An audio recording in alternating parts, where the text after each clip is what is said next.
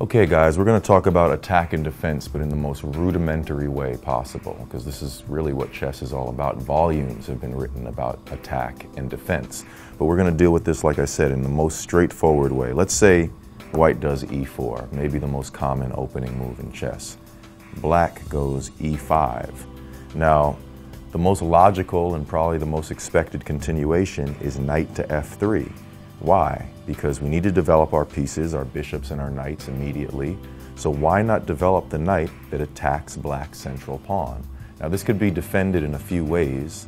We could go, for example, bishop d6, but that's not something that you're likely to see a strong player do because you're blocking your queen's pawn and therefore your queen's bishop, and it's just creating space problems for no reason. You could go d6, although you're falling behind in development. There's plenty of opening systems, I'm sure, where D6 is acceptable, but be careful not to fall too far behind in development. We could go queen to E7, but that's not really logical because you're blocking your king's bishop, which needs to be developed.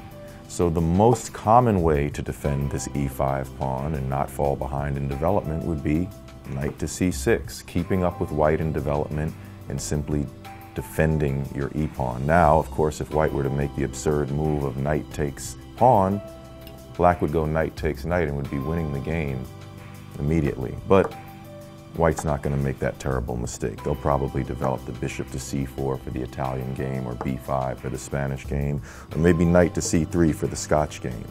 But that's an example of how to defend a pawn and how to use some basic principles in choosing how to do so. Another quick example would be if I start with e4 and let's say black goes d6, which would be the beginning of the Pirc defense or perhaps any number of other defenses. If I go bishop b5 check, a check I don't personally recommend, it could be blocked in any number of ways. We could block with the queen. That would be a terrible move, losing the queen for absolutely no reason and subsequently losing the game. We could block with the bishop, which is pretty good because then if I go bishop takes bishop, I'm giving black the opportunity to develop their knight. Or I could just go c6 and deflect the bishop, which is now retreating and maybe is going to get hit again with b5 and we'll have to retreat to b3 and so on. But the point is, this initial check, bishop to b5, can be blocked in any number of ways. It can be blocked with the pawn, the bishop, the queen, which would be awful. Oh, and the knight, which I didn't mention before, knight to c6, knight to d7. So there's any number of ways to defend this position, and a big part of being a chess player is deciding which is the best way to defend. So I would just recommend c6, make white retreat his bishop.